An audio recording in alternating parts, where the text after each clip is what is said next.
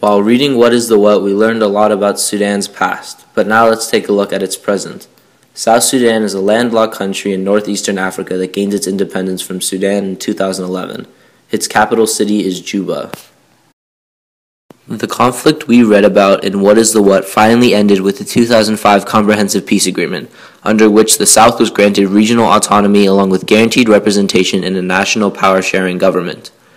The agreement also provided for a referendum in the South on independence in 2011, in which 99% of southern Sudanese voted to split from Sudan. South Sudan's economy was based on subsistence agriculture, but after its independence it is now highly oil dependent.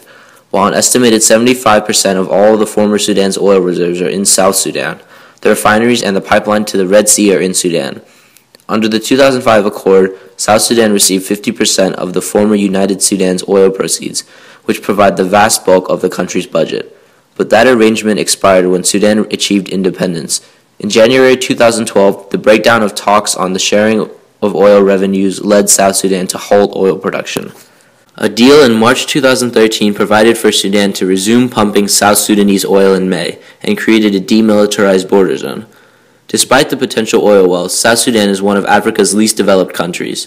However, the years since the 2005 peace accord ushered in an economic revival and investment in utilities and other infrastructure, but also problems.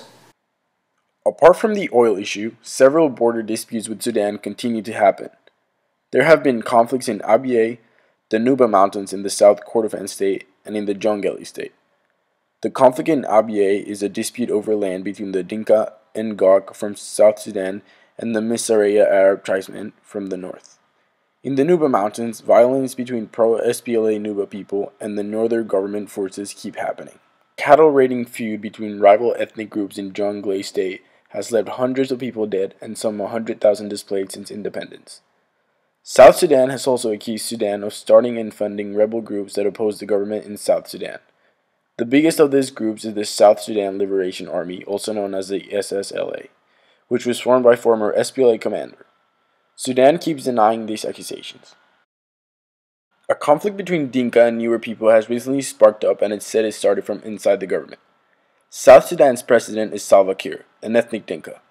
Kiir blames the fighting, which began December 15 and has resulted in the deaths of a thousand people, on a failed coup by former Vice President Riek Machar, an ethnic Nuer.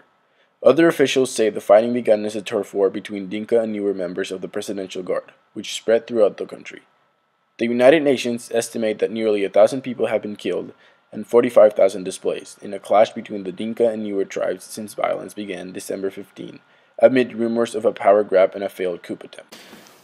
A treason trial against four senior South Sudan leaders opened Tuesday as a court heard allegations that the four men helped to plot the coup to President Salva Kiir. The government accused the four men, as well as Riek Machar, the former vice president and leader of opposition military forces fighting the government, of agitating for a coup when holding a political meeting early in December. The fighting that broke out December 15th among presidential guards quickly spread across the country. The violence quickly took on ethnic dimensions between the dominant Dinka tribe who support Kiir and the Nuer tribe loyal to Machar. Recently, it was said that the two parties had signed a truce on January 23, 2014, but the U.S. envoy to South Sudan says thousands of people in South Sudan have died since the ceasefire was signed. The U.S. envoy said the U.S. is deeply disappointed in the South Sudan government and the rebels for failing to follow the truce. He urged immediate respect for the ceasefire and for foreign forces to withdraw. The UN has also been linked to suspicious activity by the government of South Sudan. A UN truck was found carrying a shipment of weapons. This intercepted shipment of weapons fueled rumors in the capital among government supporters that the weapons were being sent to Machar's rebel troops.